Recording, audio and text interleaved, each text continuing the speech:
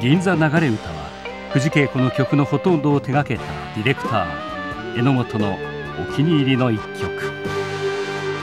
相づち打つのが辛くてグラスを一気に傾ける。にぎわう席でのあなたの噂。日取りも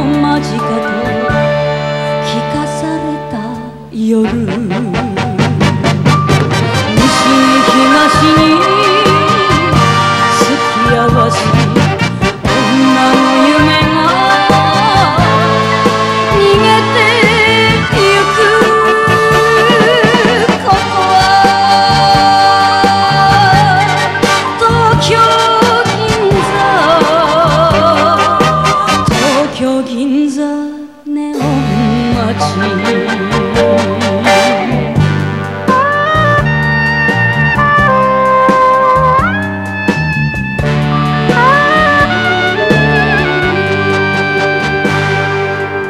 銀座が好きだと言ったよの。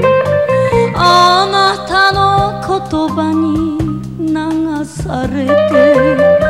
その土地その土地違っていても私は今でも銀座の女。もしも誰かに聞かれたら